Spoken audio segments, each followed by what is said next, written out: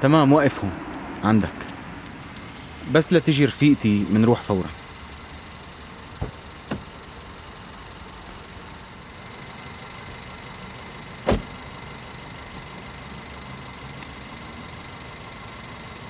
مرحبا. أهلين. يلا نروح. يلا.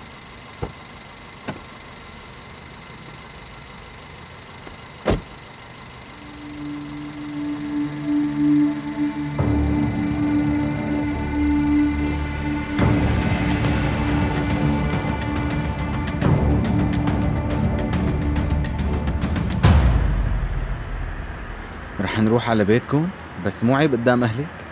هن معنهم بالبيت هلأ أهلي عايشين ببورصة. أنا وأختي عايشين لحالنا هون وهي ما بيهمها ابدا مين اللي إجا ومين اللي راح.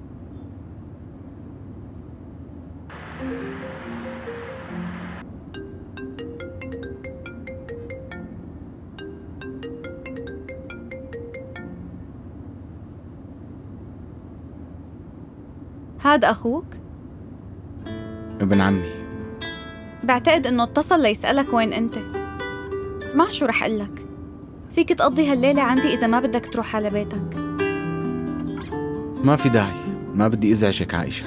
وشلون رح تزعجني يعني؟ بس خليني حذرك من البداية. أختي مثلي بتحب الحكي. بس أنتي ما بتحكي كتير. يعني لسه ما عرفتك منيح. مو هيك؟ كتير منيح إنه هيك وجهة نظرك تجاهي.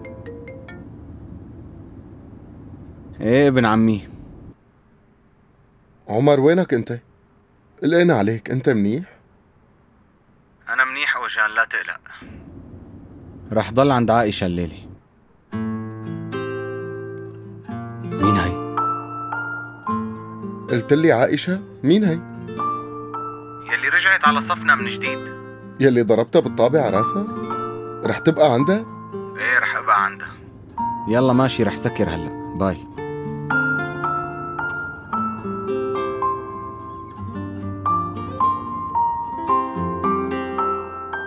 نحن قلقانين ومشغول بالنا عليه وما قدرنا ننام وحضرته مبسوط ولا على باله ابدا. أصلا المفروض آخذ موقف منه ليش لا اتصل فيه؟ خلاص ابني اهدى ولا تعصب. أنا بعتقد بإنه مل من قلة المصاري. بس أنا ما فهمت هو مع مين وشو قصة هالبنت أوجان؟ طالبة معنا بالصف رح يبقى ببيتها. كيف بصفنا؟ أنا ما بعرفها. آه آسف. آه القصة يا جماعة عائشة طالبة معنا بالصف بس صار لها شهرين غايبة عن المدرسة. وهلا هي رجعت على المدرسة. لما اجت لتعيد تسجيلها التقت بعمر بالصدفة. من شان الله اتصل فيه وخليه يرجع على البيت. ليش لحتى أنا أتصل؟ خلص أبني لا تتصل. ما في داعي. طالما هي صديقته من المدرسة ما بعتقد رح يصير شي عليه. بس لسه ما بنعرف مين هالبنت وشلون ظهرت فجأة. عمر صار كبير ومانو ولد صغير بيعرف وين مصلحته. خليه يبقى هي الليلة عندها وبكرة أنت بتحكي معه. عمي؟ تركت الشغل بالكافيتيريا على أساس نروح أستغفر الله. طيب منلاقي لها حل. خلي هالبنت تنام المسكينة حتنام وهي واقفة. أوجان سبقني على البيت أنا بلحقك بعد شوي. ماشي بابا تصبحوا على خير. وأنت بخير.